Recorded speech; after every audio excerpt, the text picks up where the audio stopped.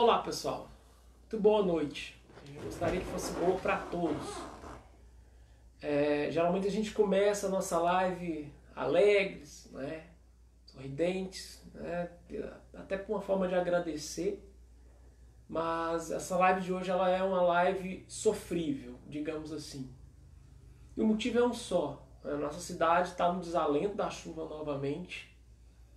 A notícia que a gente, as notícias que, a gente, que, que estão chegando não são das melhores.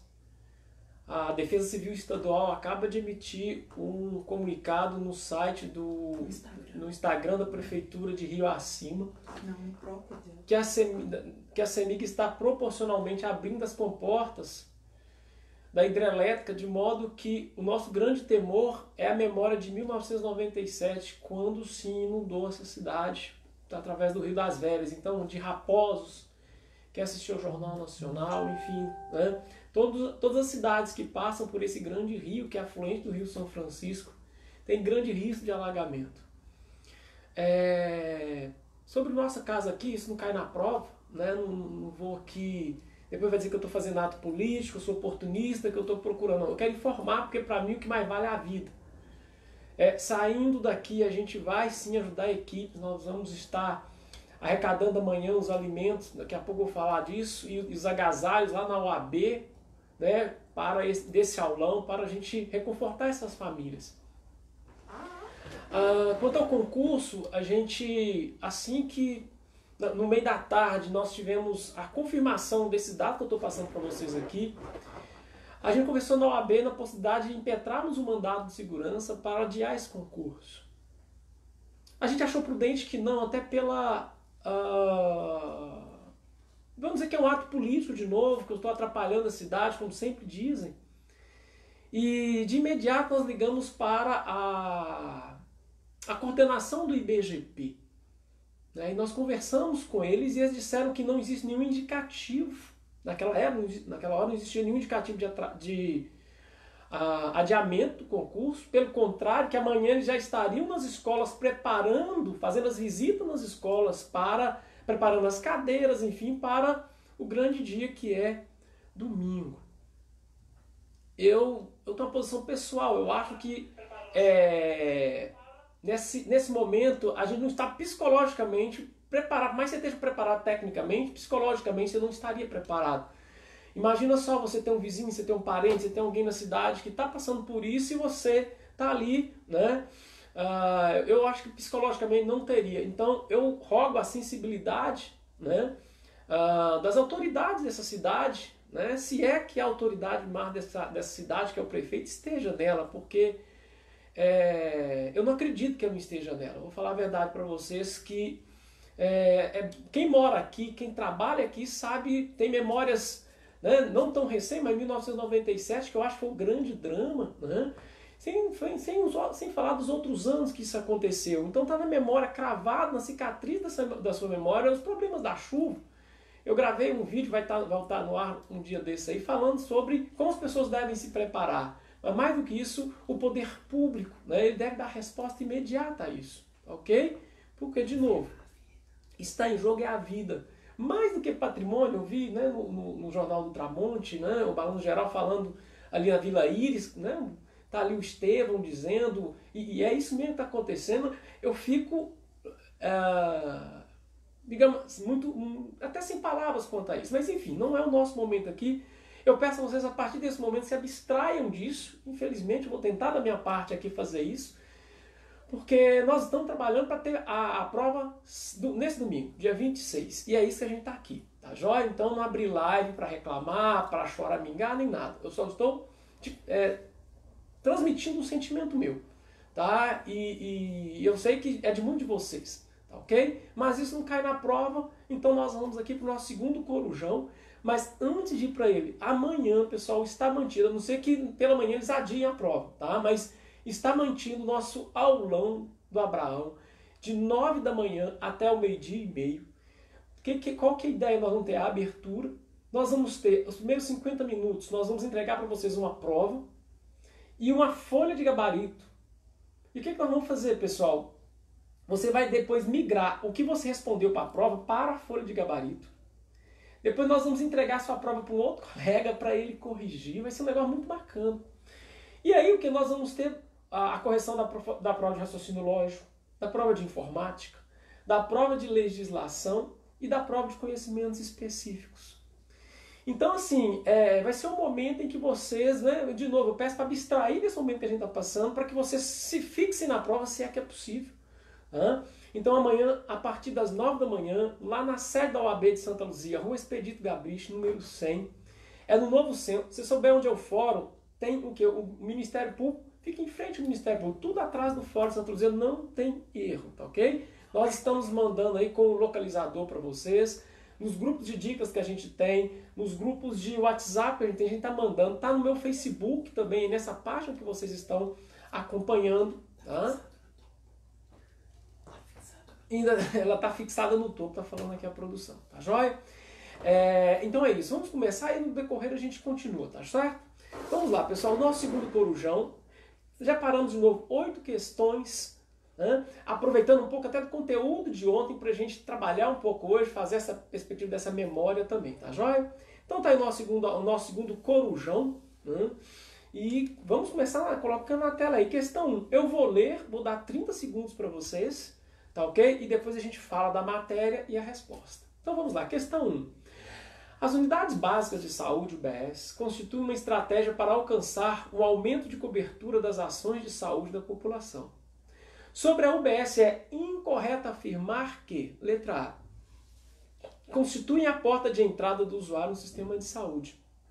Letra B, são destinadas a um determinado grupo populacional que mora ou trabalha em sua área de abrangência. C. É um modelo de intervenção social que extrapola todo o eixo sanitário. Letra D.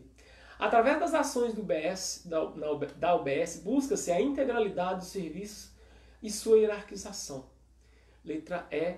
É um modelo assistencial construído a partir do Serviço Municipal de Saúde. Eu vou dar 30 segundos aí para vocês, né? e aí eu vou comentar. Vou começar a pegar aqui também a, a participação de vocês, tá joia?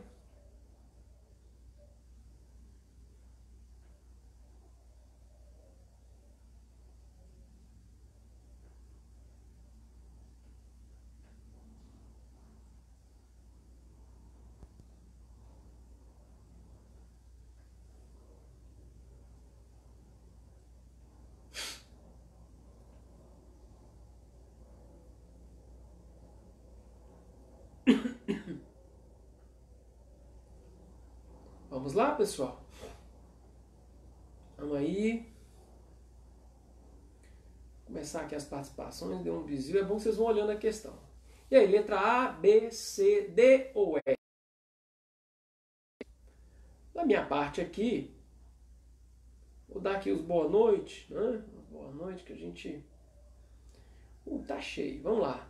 Kathleen Kate, boa noite. Karina Lima. Maria Augusta Melo.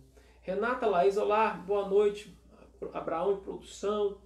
Valdineia da Silva Rosa, boa noite. Aline Pereira, Andréia dos Santos. O Ellerson, Karina. Karina já está dizendo aqui que é letra C. Ok.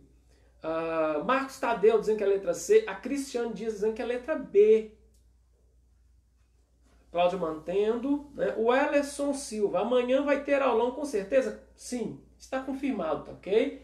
A não ser que no decorrer da madrugada saia algum comunicado, nós vamos estar sim. Mesmo assim, eu vou estar na UAB para falar, não tem, mas pode ficar tranquilo, está marcado. Uh, a Renata Laís está dizendo que é letra D, a Fátima Souza dizendo que é letra C. Estamos assistindo aí o Tadson Mendes, um abraço para você, meu caro. Uh, Laine Marques, Marquito, Marcos Souza, um abraço, Marcos. Cláudia Bonifácio está dizendo aí que é letra C de casa. Então, pessoal, vamos ao item. Então, a ideia da nossa metodologia é mostrar a questão, vocês vão tirar uma letra e eu vou explicar a matéria. Isso está lá na portaria 2436 de 2017. Eu vou dizer para vocês que, novamente, essa é a bíblia do concurso de vocês, que tudo da, da, política, da, da Política Nacional da Assistência Básica está nessa portaria e ela é novíssima. Lembrando que ela, ela revogou expressamente a 2488, que está no programa de vocês, ela não pode ser cobrada, tá ok? Então vamos lá. O que diz essa porta? vai falar especificamente sobre a infraestrutura. Eu usei essa questão para falar um pouco de infraestrutura dessa UBS para vocês. Olha só, a infraestrutura de uma UBS deve estar adequada ao quantitativo da população adscrita, na verdade, adscrita, e suas especificidades, bem como aos processos de trabalho das equipes e atenção à saúde dos usuários. Os parâmetros que estruturam devem, portanto, levar em consideração a densidade demográfica, a composição, a atuação e os tipos de equipe, perfil da população e as ações de serviço de saúde a serem realizados. É importante que sejam previstos espaços físicos e ambientes adequados para a formação de estudantes e trabalhadores da saúde do nível médio e superior, para a formação em um serviço de educação permanente na UBS. As UBS devem ser construídas, olha o padrão arquitetônico, tá certo? As UBS devem ser construídas de acordo com as normas sanitárias e tendo como referência as normativas de infraestrutura vigente, bem como possuir identificação segundo os padrões visuais da atenção básica e do SUS. Devem ainda ser cadastradas no Sistema de Cadastro Nacional dos Estabelecimentos de Saúde, o SCNES, eu chamo de SCNES, de acordo com as normas em vigor para tal. Segundo parágrafo, as UBS poderão ter pontos de apoio para o atendimento das populações dispersas, rurais, ribeirinhas, assentamentos, áreas pantaneiras, com reconhecimento do sistema, né, os esquinés, né, esquimós não, esquinés, bem como nos instrumentos de monitoramento e avaliação. A estrutura física nos pontos de apoio deve respeitar as normas gerais de segurança sanitária. E por fim, a ambiência de uma UBS refere-se ao espaço físico arquitetônico entendido como lugar social, profissional e de relações interpessoais, que devem proporcionar uma atenção acolhedora e humana para as pessoas, além de um ambiente saudável para o trabalho dos profissionais de saúde. Então, pessoal, feitas essas considerações, vamos ver aqui como é que tá. Uh, Alaine Thay, Anderson falou que é a letra C. Tim Celestino, boa noite. Marilza Machado, ei Marilza, tudo bem? A Kathleen. Abraão, vai ter o concurso mesmo, risco de chuva? Sim, como eu disse para vocês, o BGP confirmou hoje à tarde que não recebeu nenhum comunicado e que amanhã fará visitas às escolas que terão as provas. Uh, Emilson El Bigodon, um abraço para você, El Bigodon. Né? tá aí, obrigado por nos prestigiar. Nego Percurso está nos assistindo. A Sara Mainar, boa noite a todos. A Kathleen. Não estou conseguindo entrar no site. Ah, vai ver que teve alterações. Kevin, para falar em site, vocês têm que lembrar que vocês têm que imprimir o CDI, o comprovante definitivo de inscrição. Ele é a prova de vocês, tá certo? Para chegar junto com a identidade. Caneta esferográfica é muito importante. As meninas com cabelo amarrado, esferográfico transparente, tá? As meninas com cabelo amarrado, tá ok? Chegar uma hora antes, no mínimo. A prova é às 8, você tem que estar lá no mínimo seis e meia. Estou atrasando, mas é seis e meia. Por quê, pessoal? Faltando 15 minutos, eles fecham os portões. Então, 15 para as 8 vão fechar os portões. Por quê? Porque internamente eles têm que organizar, fazer identificação. Então, 15 para as 8, tá? Cuidado com o horário de ônibus, se é que tem ônibus nessa cidade, né? Tem uma pessoa que manda aqui há 40 anos, você não tem nada com isso. Mas, enfim. Uh, Vá de Jesus, boa noite. Darlene Oliveira. Aqui um abraço para vocês. Obrigado, Darlene. Ah, até amanhã. Marcinho, ó seu Márcio. Boa noite, Messi. Se continuar chovendo, o rio vai acabar de transbordar como foi em 97. Não terei como fazer a prova. Aí eu vou falar para vocês, pessoal, se transbordar e não adiar, eu, pessoal, vamos entrar, nós vamos entrar com mandado de segurança. É um descalabro, é uma falta de vergonha na cara, tá certo? É a pessoa não morar na cidade e governar vocês. Mas enfim, eu não vou me, me uh, uh, assoberbar. Não estou conseguindo ver o vídeo. Quem está falando é o Prosvaldo Sampaio. Meu amigo, deve ser a questão da, da sua internet, que tem aqui também não tá bom não, tá? Para internet. Boa noite a todos, tá dizendo o Willy Jean. Ah, o de ontem também não consegui ver. Pode ser problema na sua internet. Laine falando que a letra C deveria ser outra data a prova. Concordo.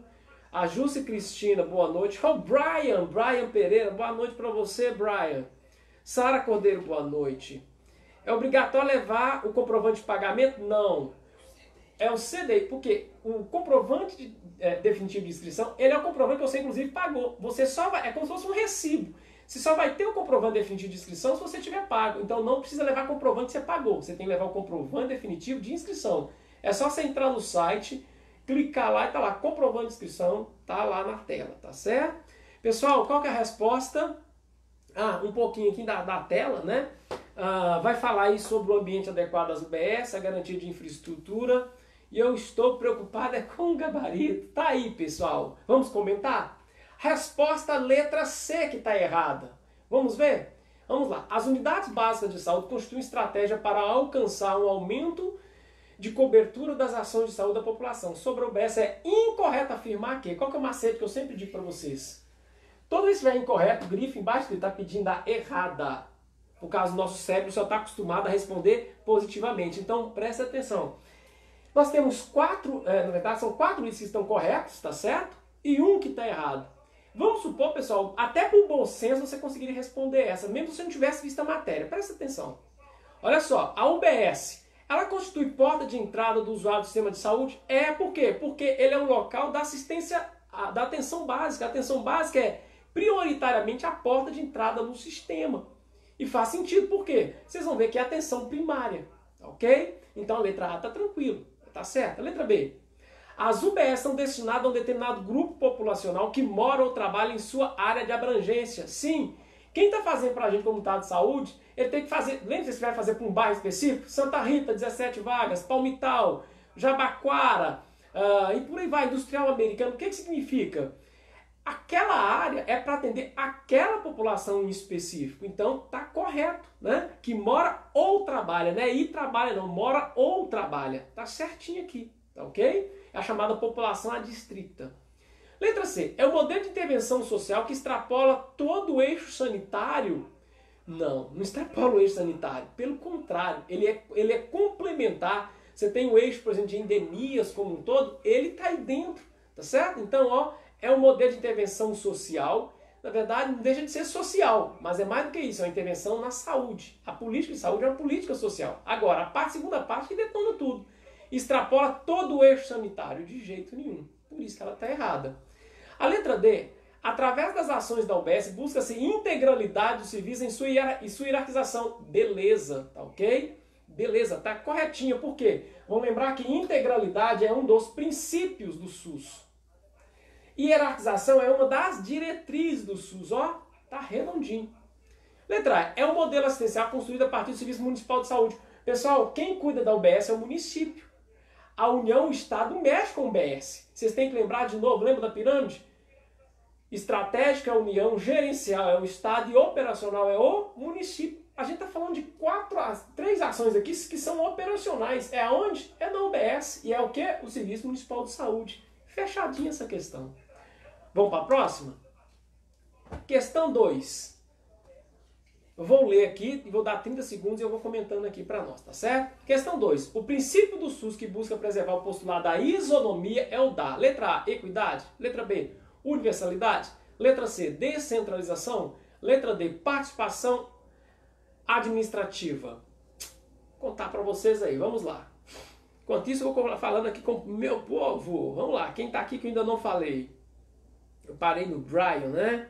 Sara Cordeiro, é obrigatório levar o comprovante de pagamento? Foi aqui que eu parei. Não, é, levar, é obrigatório levar o comprovante definitivo de inscrição. Nelma Machado, uma boa noite para você. Paulo Menezes, Paulinho, um abraço para você, meu caro. Janaína Juqueira, boa noite. Edna Castro, boa noite. Hoje está difícil assistir a luz caindo demais, além da internet. Para você ter uma ideia, a gente está transmitido aqui via dados, né? Isso, produção, para não ter intermitência. A coisa não tá boa. Cris Cherry, boa noite a todos. Sara Cordeiro, obrigado, professor. Edna está nos assistindo. Rayane, boa noite, Rayane. Um abração aí para você, né? Pro seu namorado, pro Rodrigo, né? Um cajuzinho, um abraço para ele, viu? Cláudia Campos, boa noite a todos. Hoje o vídeo está travando muito. É o problema da internet. Uh, alguém perguntou aqui se podia ir no aulão. Pode. Eu só vou dizer o seguinte: nós abrimos um cadastro prévio, você pode cadastrar. Quem cadastrou, está garantido. Ah, eu não cadastrei, eu quero ir no aulão. Você pode por conta e risco sua, nós não vamos barrar ninguém, tá certo? Só que as pessoas que estão previamente inscritas, nós vamos dar prioridade, só para ter um, né, um critériozinho para não chegar um negócio meio avacalhado, né? Então, a lista que a gente lançou, pessoal, ela é prévia. Quem está lá está garantido. Eu, não, eu ouvi agora, gaiato, cheguei aqui. Vai lá, não tem problema nenhum, tá ok? Mas é por sua conta e risco. Então vamos lá, tá todo mundo já respondendo aqui. Cristiano Dias já deu um alô aqui para nós.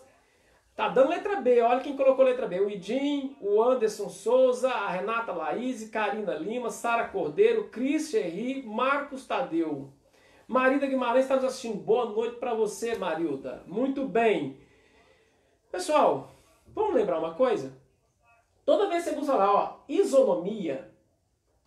isonomia é a mesma coisa que igualdade. Iso, lembra? O iso, uh, isoteria, iso. Na, na, aqueles o, na matemática, quando os três ângulos são iguais, isó, triângulo isósceles, eu lembro, e não fugi não. O triângulo isósceles tem todos os ângulos iguais, então a ideia de isonomia é o nome, outro nome para igualdade. Qual que tem mais a ver com igualdade? Participação administrativa, oh, gente, por aqui já dá para matar, né não? É participação que comunitária, da comunidade. Ah, então essa aqui que está errada. Não, a gente está pedindo, a gente tá pedindo a certa. Então, igualdade tem a ver com participação administrativa? Tem a ver com descentralização? Tem a ver com universalidade? Tem a ver com equidade? Macete. Equidade é a mesma coisa que justiça. Na verdade, é, ela vem corrigir o seguinte: a universalidade é acesso a todos. Eu também concordo com vocês. Mas a equidade ela vai dizer o quê? todos são iguais perante a lei. Mas a igualdade, a isonomia, não é tratar todo mundo igual. A equidade são os dois princípios que existem aqui. Olha, não sei se vocês mataram a charada. Se você não souber nada, se você souber que os três princípios são o E, o que, que é o E? Universalidade, equidade e integralidade, você já matava a questão. Você ia ficar entre a letra A e a letra B, concorda? Por quê? Porque esses aqui não são princípios. Você está falando, o princípio do SUS são três. O E, universalidade, equidade e integralidade. Esses dois aqui estão fora. Aí você ficaria com universalidade e equidade. Vocês têm que lembrar que a equidade, ela, é, ela existe exatamente para corrigir a universalidade. Por quê, pessoal? O que, que é igualdade? É tratar igualmente os iguais e desigualmente os desiguais na medida das suas desigualdades. De modo que a resposta, pessoal, tá aí, ó. Né? Coloquei para vocês, aqui. São princípios e diretrizes do SUS. Eu ainda já dei esse macete ontem, vou responder para vocês. Princípios são só esses princípios são só esses três. É, é o E de novo, né?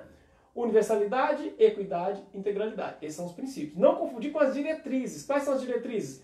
Regionalização e hierarquização, territorialização, população adstrita, adstrita cuidado centrado na pessoa, resolutividade, longitudinalidade do cuidado, coordenação do cuidado, ordenação da rede, participação da comunidade.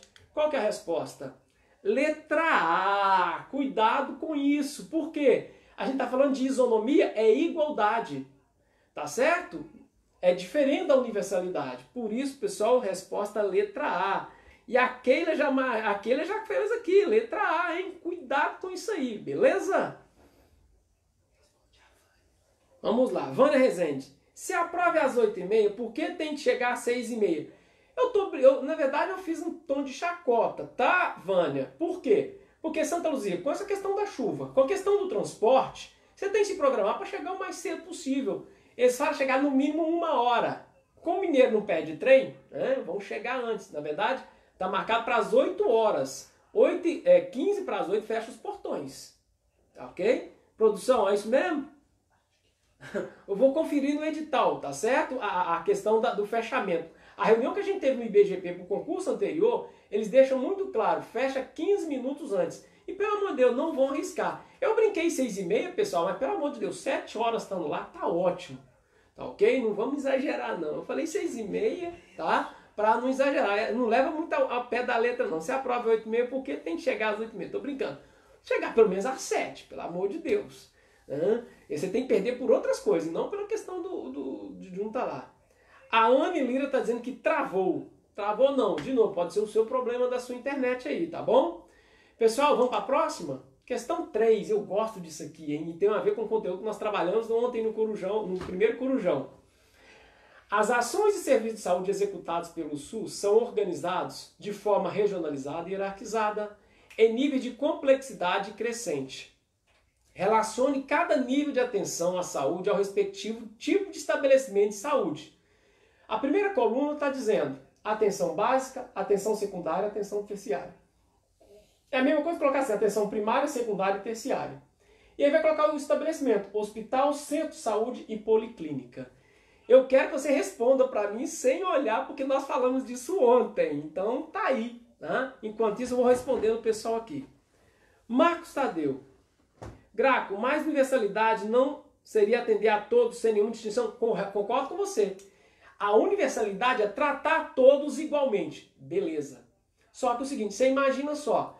Tem duas pessoas com um problema. Mesmo problema. Os dois têm câncer. Os dois têm câncer. Ok? Uh, vamos colocar aí, os dois têm câncer no esôfago. Estou chutando para vocês terem uma ideia. Só que um tem, 40, tem 39, 35 anos, o outro tem 80 anos.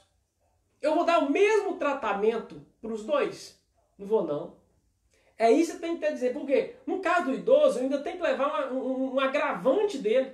Então, eu vou tratar igualmente os iguais, ou seja, todos que estejam com, com câncer no esôfago na faixa dos 40 aos 50 anos é uma coisa, Todos que estão com câncer no esôfago acima dos 60 anos de idade você vai ter um outro tratamento, porque ele está mais debilitado. É, é, é, é, da questão do idoso. Então você tem a política nacional do idoso que vai fazer com que eu trato igualmente os iguais e desigualmente os desiguais na medida de sua desigualdade. Então, é o que eu falei, a universalidade é tratar todos igualmente. Beleza. A equidade vem corrigir. É tratar igualmente na medida de suas igualdades e desigualmente na medida de suas desigualdades. Entendeu, Marcos? Joia. Renata Laís, no CDI está marcado para fechar às 8h15. Muito bem, beleza, tranquilo, tá ok? Boa informação. É porque, na verdade, é, eu estou confundindo esse edital com o edital anterior, que era 15 para 15 as 8, tá ok? Mas se prepare aí, né? Se prepare aí para isso. Cristiane Dias, está dizendo aqui, ó. 3, 2, 1, não é isso? Ó, 3, 2, 1. Já estão aqui dando resposta, hein? Vamos olhar a matéria? Vamos responder com a matéria primeiro. Eu coloquei essa tela na aula no nosso corujão de ontem, olha só. Tá aí, ó. Assinale a opção que indica a relação correta, né? 1, 2, 3, tudo mais. Mas antes disso, vamos ver? O Sistema Único de Saúde, o SUS, no Brasil, é composto pela integração de três níveis de atenção. A atenção primária são as unidades básicas de saúde e unidade de saúde da família para a promoção e proteção da saúde. É onde trabalha geralmente o agente de saúde, tá certo? É a porta de entrada do sistema, é no na atenção primária. Atenção secundária.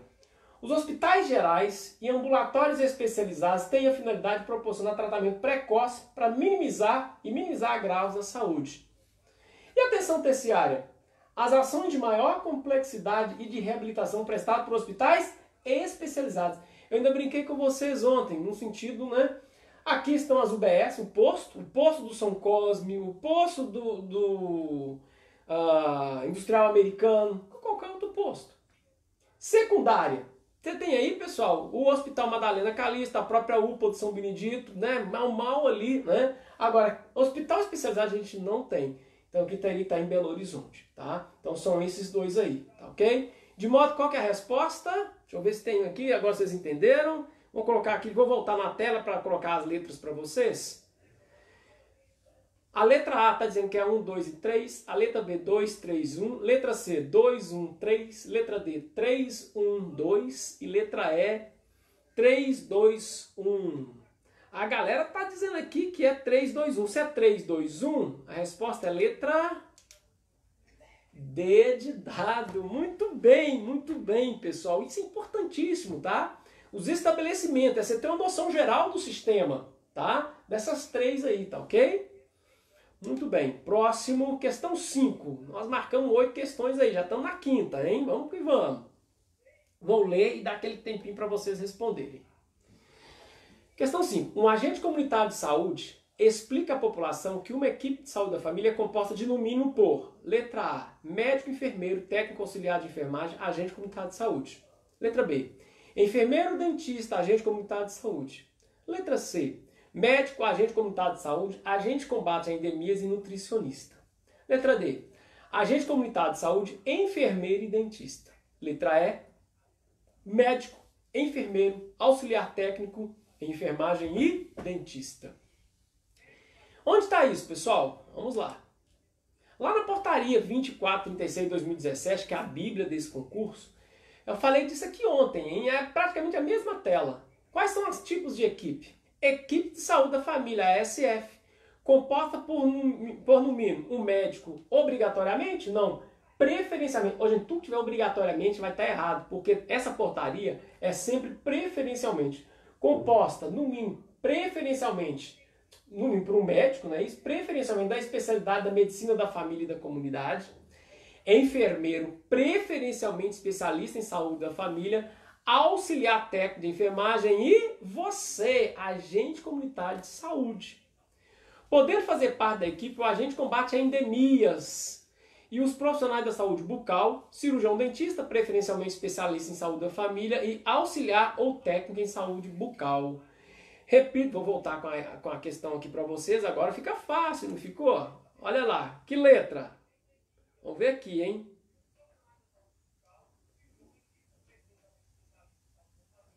Agora está dizendo que está errado o gabarito da 4. Tá, depois eu volto lá, tá, Werson? Uh, Sara, letra A, letra A. Anderson, Cláudia, Renata, Karina, Jéssica, Laine, Wellison, 5 letra A.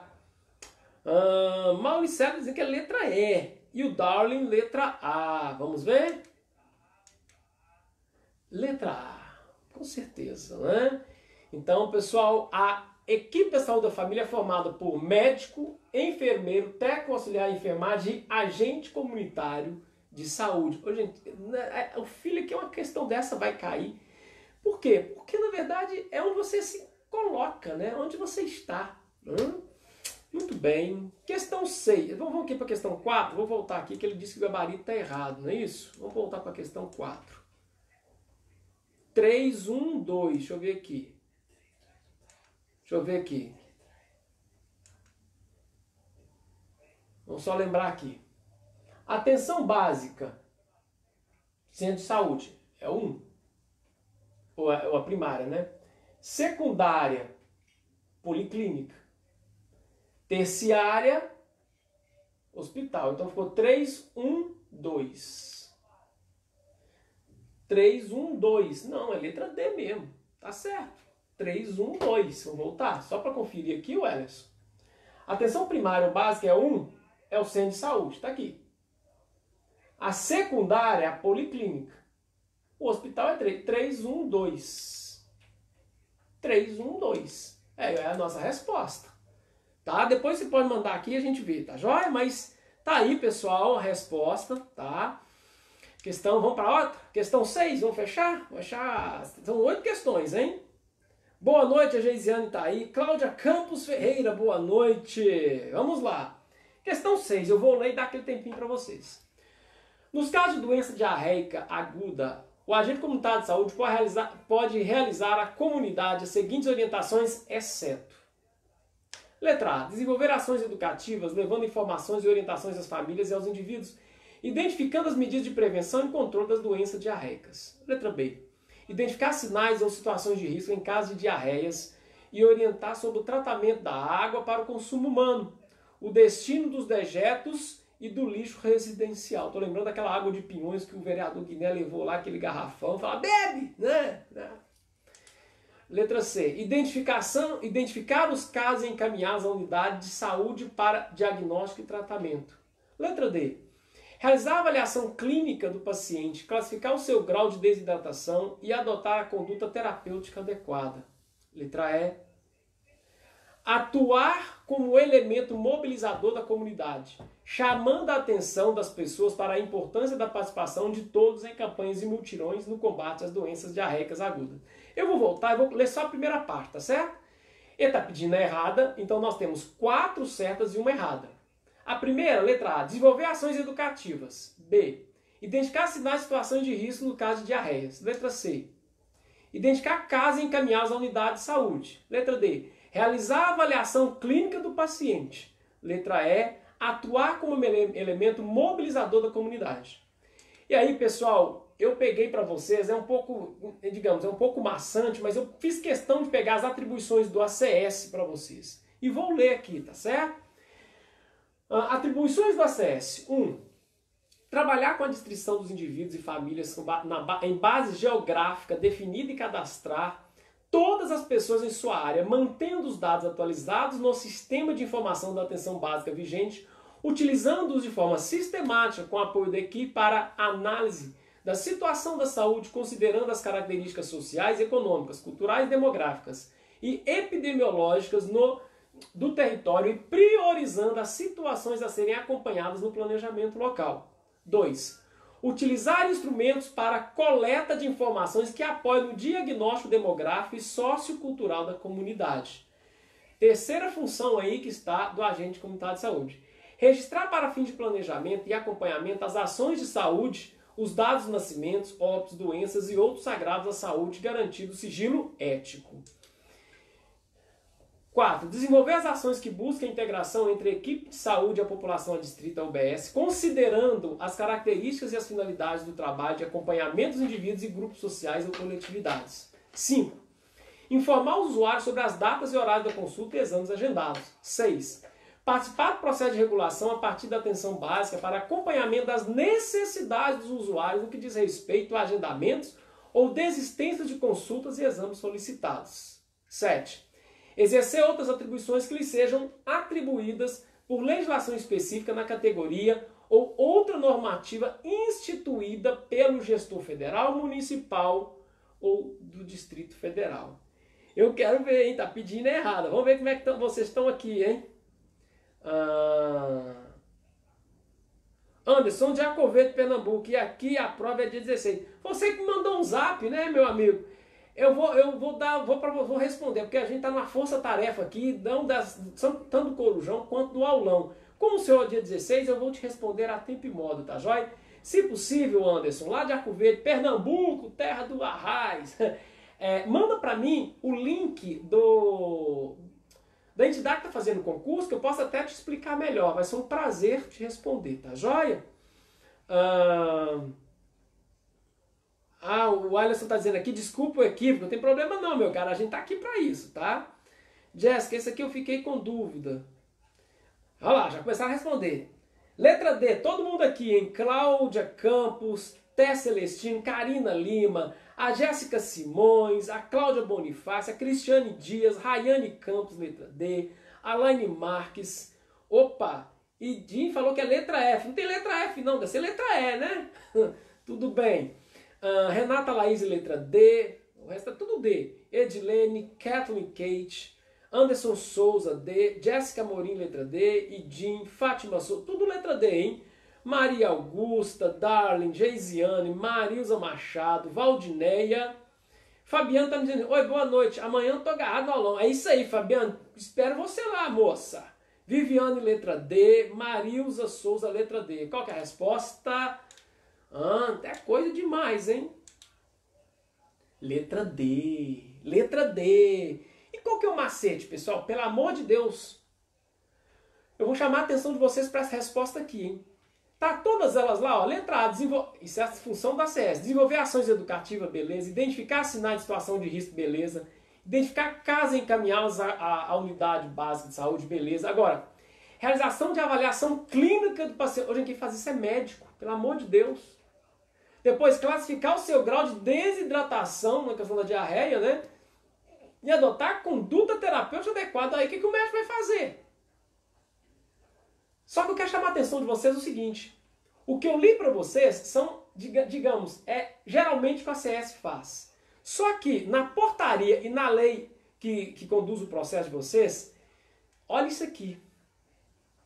Aqui, ó poderão ser consideradas ainda atividade do agente comunitário de saúde a serem realizadas agora, presta atenção, em caráter excepcional, assistido por um profissional de saúde de nível superior, membro da equipe após treinamento específico, está vendo os, os, os graus? E fornecimento de equipamentos adequados em sua base geográfica de atuação, encaminhamento, encaminhando o paciente de unidade de saúde de referência. O que, que o ACS pode fazer se for, presta atenção, em caráter excepcional, assistido profissional de saúde no nível superior e com treinamento e equipamento. 1. Um, aferir pressão arterial, inclusive no domicílio, com o objetivo de promover saúde e prevenir doenças. 2. Realizar a medição de glicemia capilar inclusive no domicílio para acompanhamento dos casos diagnosticados uh, diabetes mellitus e segundo projeto terapêutico prescrito pelas equipes que atuam na atenção básica. Aferição de temperatura axilar, vou ler rápido, tá? 5. Uh, indicar necessidade de internação hospitalar ou domiciliar. 6. Planejar, gerenciar e avaliar ações desenvolvidas pelo CSSE em conjunto com outros membros da equipe. Exercer outras atribuições. Aqui que eu chamar a atenção de vocês. Na questão, vou voltar nela lá, ela não dá nenhuma informação. Presta atenção aqui, estou voltando. Na questão de vocês, olha o que diz o, o, o, o enunciado. Nos casos de doença de diarreia aguda, o agente comunitário de saúde pode realizar. Então, se fosse aquela de aferição de pressão, ele teria que esse dado aqui. É, desde que acompanhado com o superior, em situação excepcional, com treinamento, com equipamento, teria que dar esse dado, tá certo? Por isso que as outras ele pode, mas a letra né, D ele não pode. Ele não pode realizar avaliação clínica do paciente em nenhuma hipótese se, com esse dado desse enunciado, tá certo? Ok? Muito bem, pessoal. Essa, essa foi de descascar. Pelo amor de Deus, gente, vai cair isso na prova, sabe por quê? Como é que você vai fazer uma prova se você não sabe o que, que você vai fazer? Eu, como examinador, eu cobraria nem que seja ler, participar de processo, não sei das... Tá aí. Hã? Informar o usuário. Você tem que saber quais as funções que você exerce. Isso é, isso é o básico de um concurso público. O que, que você vai fazer quando você passar? Hã? Questão 7. Antes de ir para a questão 7, vou ler aqui. O pessoal está chamando aqui. Vamos lá. O que me chamas? Ah, acertamos, Cláudio. É bom que já tem uma torcida aí, né? Lane Marx. Mas é preciso ter curso técnico, certo? Aqui ele não fala. Aqui a lei está dizendo que ele tem que ser acompanhado. E o que, que exige de você é o quê? É um treinamento específico e um equipamento. Além de estar acompanhado dessa pessoa de nível superior. Tá? Na portaria, que é de 2017, super atual, ela não fala que tem que ser concurso técnico. Eu vou voltar aqui para você, tá? Ah, poderão ser consideradas atividades do agente comunitário de saúde a serem realizadas em caráter excepcional. Então, o primeiro requisito é excepcional. O profissional de saúde, ter treinamento, ele não está falando ter curso técnico. Se fosse exigido, ele teria que falar. Tá ok? Então, uh, line não é. Tá? Questão 7. Questão 7. É obrigação ética dos profissionais das equipes de saúde da família e agentes comunitários de saúde. A. Manter a comunidade informada sobre os fatos que acontecem nas famílias daquela área. B Manter segredo as informações que descobre no exercício da sua atividade profissional. C. Divulgar fatos ocorridos na comunidade desde que seja de interesse de outros moradores. Letra D. Deixar de visitar famílias vulneráveis caso precise manter segredo de algum fato. Letra E. Realizar grupo de educação de saúde expondo os problemas das famílias da comunidade. Bom, pelo amor de Deus. Alguma coisa é bom senso. Né? Alguma coisa tem que ser bom senso. Vamos voltar aqui? É obrigação ética. Ética diz respeito ao que, pessoal? O que é bom, o que é ruim. Né? O que é bom, o que é ruim. O que é certo ou errado é moral. Né? O que é bom, o que é ruim. É uma obrigação ética dos profissionais das equipes de saúde da família. Então, ele está pedindo a certa. Manter a comunidade informada sobre os fatos que acontecem nas famílias. Vamos combinar o seguinte, pessoal. Pensa vocês. Está lá no manual. Quem não lê o manual, dá uma folheada nele, pelo amor de Deus, mano, o guia do, do agente comunitário de saúde. Ô, gente, a casa é o asilo inviolável do indivíduo, nela não podendo penetrar sem autorização do morador. Chega você lá com identificado, você está sendo autorizado pela pessoa, pelo morador, a adentrar na intimidade dele. Ele vai expor a intimidade, tá doença, tá não sei das quantas. Aí você, ao invés de ajudar, você vai criar um outro problema para ele, porque você vai sair da casa dele, vai falar para os outros agentes de saúde, vão falar para a equipe, vão falar para os vizinhos dele, ó, fulano ali, ah, tá assim, tá. É central de O posto de saúde não é central de fofoca. Fulano ali, ó, tá com gonorreia, tá com DST, não sai da Guaicuru. Filho, como assim? Então, a questão ética, ela é, a ética médica, o sigilo profissional, isso tem em toda qualquer profissão que mexe com situações sensíveis. Desde o médico, o advogado, o psicólogo, Se eles for chegada depois e testemunhar contra você, eles podem simplesmente alegar o sigilo profissional. Dizer, olha, eu estou, né, eu estou, é, eu, eu vou ficar calado no sigilo profissional. Simplesmente, vocês da mesma forma. Por quê? Manter, olha só, letra A, você vai manter a comunidade informada dos fatos que acontecem nas famílias daquela, né? É mesmo? Tá doido. Manter o segredo, está pedindo a certa, manter segredo das informações que descobre no exercício da sua idade profissional. Será que é essa letra? C. Divulgar fatos ocorridos na comunidade desde que seja de interesse de outros moradores é igual a letra A. Né? Letra D. Deixar de visitar a família vulnerável. Oh, como assim? É igual a prefeitura. Tá tendo problema de enchente, vão dar ponto facultativo, aí ninguém vai na sua casa, não você morra. Então isso não. Mas tá com chuva, o que você tem que fazer? Você pode até fechar o expediente externo, mas você vai chamar todo mundo para estar tá na, todo servidor da prefeitura para fazer força-tarefa. Eu não entendi isso não. não. Então deixar de visitar a família vulnerável na hora que mais precisa. Né? Eu não acredito, de novo, né, que fez isso, que fez ponto facultativo. Tem que dobrar o serviço. É servidor público, é para servir para o público. Letra E, realizar grupo de educação à saúde expondo os problemas das famílias. Imagina! Você chama as famílias para o UBS porque a fulana, ela dormiu com o com o marido dela tá. Como assim, velho? Né? Resposta? Não, não, cadê, cadê, cadê a danada? Não é isso aqui não. Já tá na 8. Acho que eu, eu me atrapalhei aqui, hein? Acho que eu não marquei.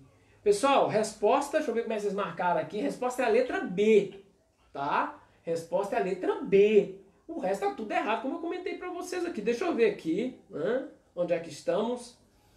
Ah, Ina Sampaio, boa noite. Cristiano, letra B. Letra... Exatamente, pessoal. Gabarito, letra B. Eu tenho que estar vacaiado aqui, tá? Mas é letra B, tá ok? Vamos para a próxima? Próxima, tá aí. Oito. É a nossa última, hein? Nós já vamos embora. Vamos embora que eu tenho, tenho que ir lá na Vila Is, tenho que passar na cidade aí. Ah, vamos lá. O Pacto pela Saúde é um conjunto de reformas institucionais do SUS pactuado em três esferas de gestão, União, Estados e municípios, com o objetivo de promover inovações nos processos de instrumento de gestão, visando alcançar maior eficiência e qualidade nas respostas do Sistema Único de Saúde. Assinar a alternativa que corresponde às dimensões que compõem o Pacto pela Saúde. Letra A. Programas do SUS Pacto em defesa do SUS, indicadores do SUS. Letra B, Pacto da vida, Pacto em defesa do SUS, Pacto de gestão. Letra C, Pacto em defesa do SUS, indicadores de saúde, dados de gestão, Pacto pela vida, Pacto para o SUS, gestão da saúde, Pacto de gestão. Vamos só voltar aqui, tá? Então, ele está pedindo as dimensões. Você já viu que são três, não é isso? Corresponde às dimensões que compõem o Pacto pela Saúde. Qual que é a dica nossa? Vamos lá para a resolução. Pessoal, a portaria 399 do Ministério da Saúde 2006, eu fiz ela em quatro aulas, elas estão disponíveis. Quem está assistindo no Facebook, né? Vai, migra lá para o nosso canal, Assessoria Abraão Graco, lá no YouTube. Quem está assistindo no YouTube já sabe. Nós temos quatro aulas e foram grandes. Essa portaria é cavalo, ela é enorme essa, essa, essa portaria. E o que, que acontece aí, pessoal? ela tem as três dimensões. Então, pacto pela saúde é gênero. E nós temos três subpactos, que são as dimensões. O pacto pela vida, o pacto em defesa do SUS e o pacto de gestão do SUS. E eu vou ler cada um deles para vocês. Pacto pela vida. O pacto pela vida está constituído por um conjunto de compromissos sanitários expressos em objetivos de processos e resultados e derivados da análise da situação da saúde do país e das prioridades definidas pelos governos federal, estaduais e municipais. 2. O Pacto pela Defesa do SUS. O Pacto pela Defesa do SUS envolve ações concretas e articuladas pelas três instâncias federativas no sentido de reforçar o SUS como política de Estado mais do que políticas de governo e de defender vigorosamente os princípios basilares dessa política pública inscrita na Constituição Federal. E por último, parte de gestão do SUS. Estabelece as responsabilidades claras de cada ente federado na forma de diminuir as competências concorrentes e tornar mais claro quem deve fazer o que, contribuindo assim para o fortalecimento da gestão compartilhada e solidária do SUS. De modo que, vamos ver como é que tá de, estamos de resposta aqui. Eu vou voltar.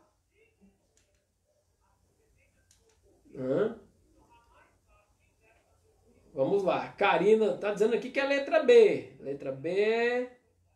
Aí, Lu, vamos que vamos. Letra B, então vamos com letra B, não é isso? Vamos lá, vamos ver se é a resposta. Resposta letra B, exatamente. Pacto pela vida, pacto em defesa do SUS e pacto de gestão do SUS. Tá certo? Então, pessoal, chegamos ao fim das nossas questões. Então, já dizendo para vocês, né, lastimando pela situação de não ter colocar, né, de não ter adiado essa prova, né, eu vou dizer para vocês, quem quiser né, doar roupas, alimento, produto de limpeza, nós vamos estar tá recebendo na OAB. O que a gente está pedindo é a colaboração mínima de um quilo de alimento não perecível, desde que não seja sal e nem fubá. Eu acho que nas atuais circunstâncias até gente está pedindo, tá certo? Desde que não seja o fubá do palmital, o Eberson, o Eberton.